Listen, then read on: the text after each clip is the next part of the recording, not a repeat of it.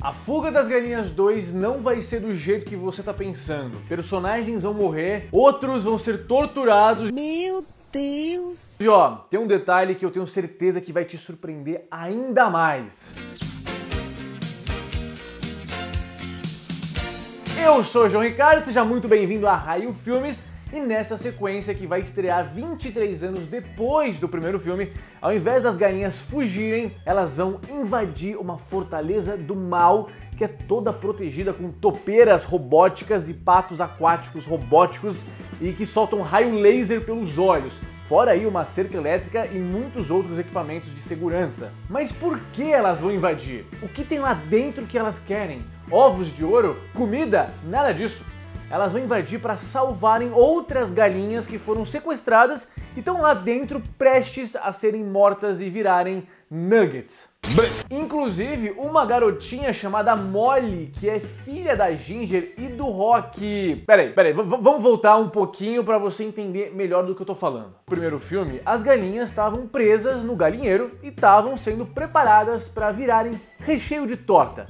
O Rock, que é um galo animado e livre, acabou caindo nesse galinheiro e ficou preso por lá também e deu uma agitada na galera para elas todas saírem dessa prisão chamada galinheiro. E elas conseguem fugir no final do filme, né, lá da fazenda da senhora Tweed. E aí as galinhas no final do filme conseguiram, além de fugir, ter uma, uma fuga com avião, tipo, até avião estava envolvido na parada. E elas encontraram um lugar para viver em paz, um paraíso e longe dos seres humanos a Ginger e o Rock se apaixonaram e aí no segundo filme eles têm uma filhinha chamada Molly. E a Molly vai começar criança nesse segundo filme, mas depois ela vai ficar adolescente. E ao mesmo tempo que tá tudo numa boa lá no paraíso das galinhas, uma fábrica de nuggets tá recrutando algumas galinhas para virarem nuggets. E a pessoa responsável por tudo isso, sabe quem é? Sabe quem é responsável para estar tá acontecendo toda essa parada aí? A senhora Tweed. Assassina. A mulher explodiu e sobreviveu. Uma porta gigante caiu em cima da cabeça dela no final do primeiro filme, esmagou ela todinha, mas ela sobreviveu. Senhora Tweed vai voltar e tocar o terror de novo, hein? E ainda não vai ser só a Molly que vai ser sequestrada. Quem mais deve ser pega para ir virar nuggets são os filhotes, os pintinhos das outras galinhas. E provavelmente outras galinhas que elas nem conhecem devem estar presas por lá também. É uma fábrica de nuggets, né? As galinhas e principalmente a Ginger e o Rock vão ficar super pistolas com todo esse sequestro e vão atrás dos filhotes. Eles vão reunir toda a galera do primeiro filme Tá? Eles vão estar de volta nessa missão, que é praticamente uma missão impossível. É uma missão impossível. Em A Fuga das Galinhas 1, o maior obstáculo delas era passar por dois cachorros. Agora vai ter um monte de tecnologias que vão, tipo, estar super preparadas para exterminar qualquer um que encostar nelas. Se tá se movimentando, elas vão atacar. E ó, esse vídeo aqui chegando a mil likes, eu vou gravar um vídeo fantasiado de super-homem, Superman, aqui no canal, então bora dar esse like. Bom, o Rock vai ser o primeiro que vai tentar invadir esse local super protegido, só que a tentativa dele não vai funcionar e ele vai acabar sendo capturado também. E o que deve acontecer logo em seguida é ele preso junto com as outras galinhas, junto com a sua filha Molly, e aí vai ser a fuga das galinhas de novo, né? E a senhora malvadona conhece o Rock. Vai ser tipo um prato cheio para ela ter o Rock preso para atrair a atenção da Ginger, né? Ela tá doida de raiva com a Ginger. Tá? Pra Tweed vai ser tipo uma vingança por elas terem destruído a fábrica e a fazenda inteira. Com isso, a Ginger também vai ficar mais pistola ainda e vai reforçar sua equipe de resgate. Por isso que nessa cena divulgada tá geral aqui, menos a Molly e o Rock porque os dois já foram capturados. E esse aí é o time que vai resgatar as galinhas capturadas prestes a virarem nuggets ou chiquinitos. Quem que lembra aí? Nossa, antes do nome Nuggets ficar famoso, né? A gente chamava, pelo menos eu chamava, né? A gente aqui chamava bastante de chiquinitos. Caramba, desbloqueei uma memória aqui.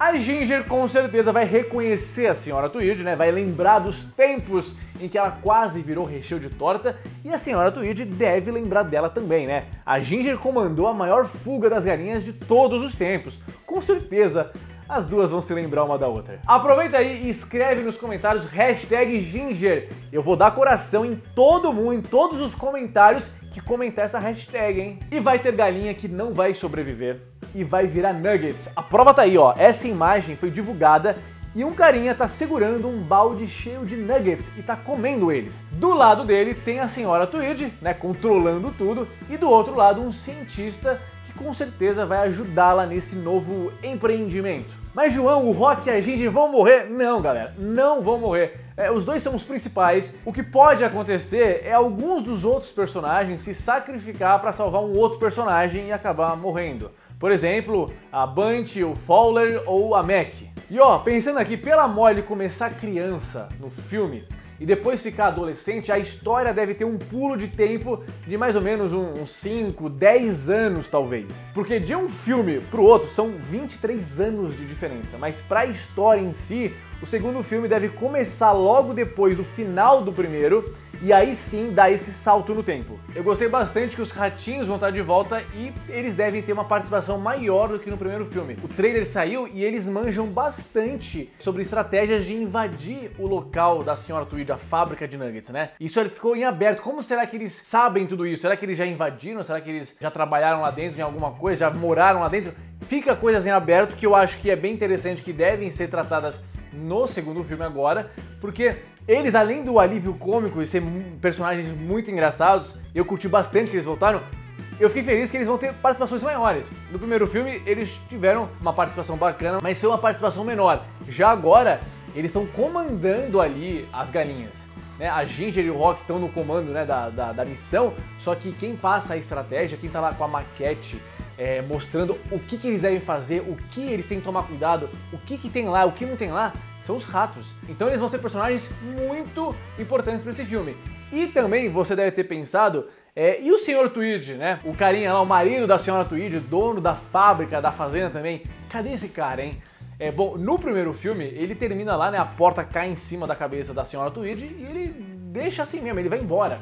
É, ele não tá nem aí se ela tá bem, não foi nem levantar a porta para ver o que aconteceu com ela. Ele simplesmente vira as costas e, vai embora. E ele já sabia que as galinhas estavam tramando alguma coisa, né? ele já sabia que as galinhas tinham consciência. E ele alertava isso para ela. Só que ela achava que ele era louco e nunca deu importância para isso.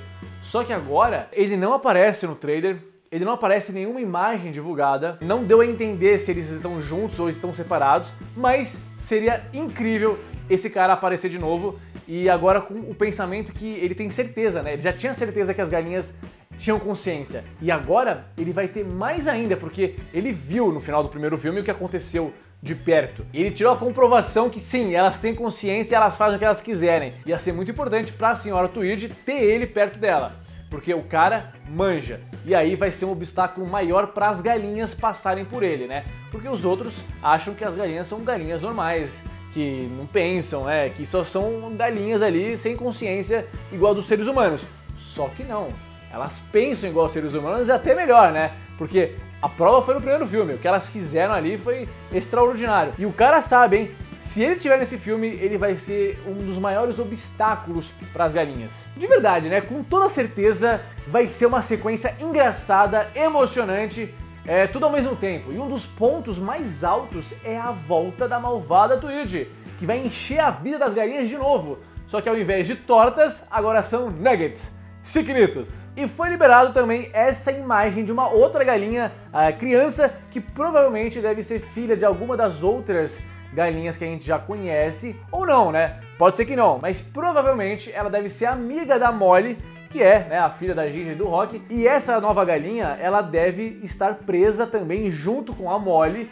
E as duas vão tentar até sair de lá sozinhas, tal, mas ao mesmo tempo a fuga das galinhas, né? A turma toda da Ginger vão estar tá lá indo é, em busca delas para salvarem não só as duas, mas todas, inclusive o Rock, que vai estar tá preso aí nesse momento. E vale lembrar aqui, galera, que o filme não tá só confirmadíssimo, como já tem data de estreia definida para o dia 15 de dezembro deste ano, só na Netflix, tá? Não vai para as telonas do cinema, vai direto pro streaming. E se você quer que eu traga mais vídeos sobre a Fuga das Galinhas 2 assim que ele lançar, então deixa o seu like pra eu saber, beleza? E ainda tem mais, hein? O trailer já saiu, tá bem interessante, não deu spoilers escancarados, deixou muita coisa em aberto e isso é bom, porque vai surpreender a gente e nesse vídeo aqui eu te conto todos os detalhes que você não percebeu no trailer de A Fuga das Galinhas 2. Clica aí. Já nesse outro aqui, eu te falo várias curiosidades incríveis que eu tenho certeza que você não sabe sobre o primeiro filme de A Fuga das Galinhas.